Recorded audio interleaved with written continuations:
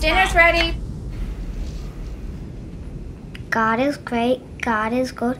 Let us thank Him for our food. By His hands we all are fed.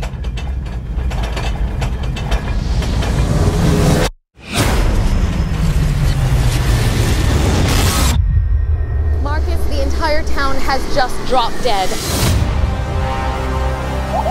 Dr. Lauren Stone. Why am I here? They say if it's out of this world, you will find it. It's a meteorite. It appears to have just hit and dissolved into the soil. Whatever it is, it's highly toxic. And you just don't want to breathe it. He's healing. What? How is this even possible? It's a formation of a new life form within the human body. What the hell does that mean? Aliens, General. Oh boy.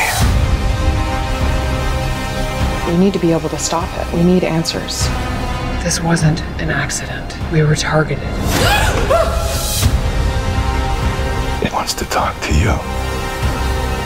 They're all facing north. It's the plant.